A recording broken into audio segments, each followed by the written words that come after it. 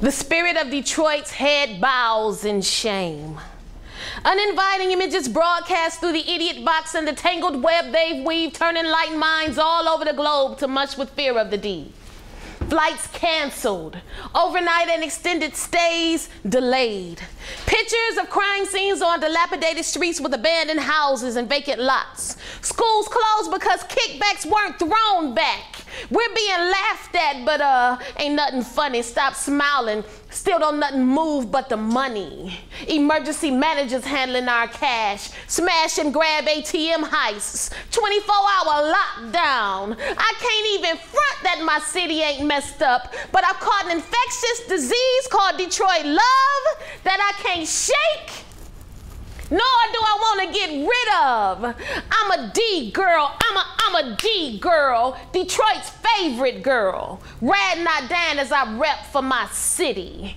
Forget what you heard. Poetically, I dispel prejudicial myths about the 313. Cops highlights a small percentage of thieves inside the D's temple. Hardcore pawners do not depict the spending habits of every person living south of 8 Mile. Not all of our elected officials have hidden agendas. Detroit's title as murder capital was relinquished to another Michigan city, but our name remains fresh on tongues that aren't privy to that fact. Creative juices keeps our sanity intact. Musicians share their chemistry and poets care more. A pastor listens to us whine and Anita's my baker. Kid rocks the rabbit Eminem. Young Berry Gordy eyes sparkle at his dream girl. Together they scream in the red dawn after a 187. Let us transform the world's thinking cause ain't nobody fresher than my clique. Detroit, baby.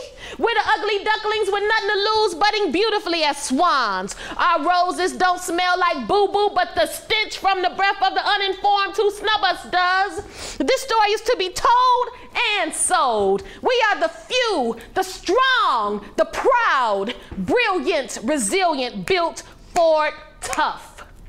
Detroit hustles harder. Our roads have always been rocky. No matter how many times we fall, we'll dust our shoulders off before overcoming the next speed bump. We ain't no punks. We'll finish what the bully started, so don't get it twisted. Talk ill about the D and you might catch a Joe Louis southpaw to your left jaw. Don't ever count us out. We're ready to bounce back off the ropes, and when we do, our old English D will beam brighter than Batman's spotlight in the sky. We'll band together prepared for flight. Our wings are long and our determination intense. Because when we play, we play to win.